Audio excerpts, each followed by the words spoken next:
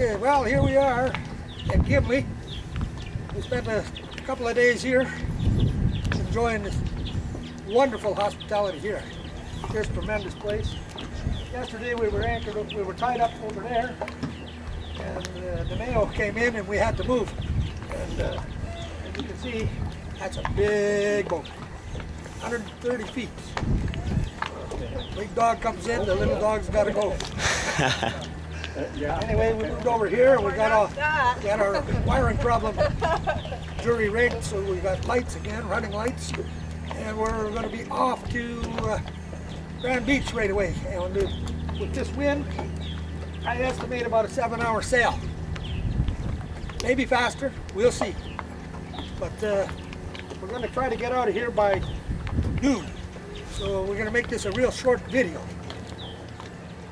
Go ahead, Mike, and, and uh, the area. And uh, you'll get a look at the Gimli Harbor here with all the sailboats. And uh, VACTA is uh, uh, Canadian Coast Guard cutters. You'll see that. It's a big red, you can't miss it, red hull boat, big boat. And then behind us, you'll see all the boats over there. And behind us is the hotel way off in the distance. And this great big boat here, this Silverton behind us is a huge boat also.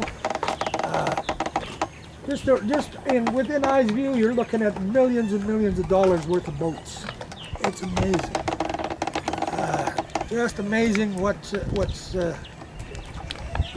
all here at Gimli. Uh, people here are just super friendly.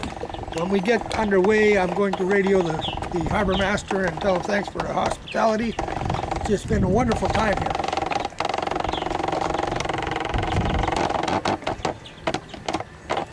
Okay, so there we are.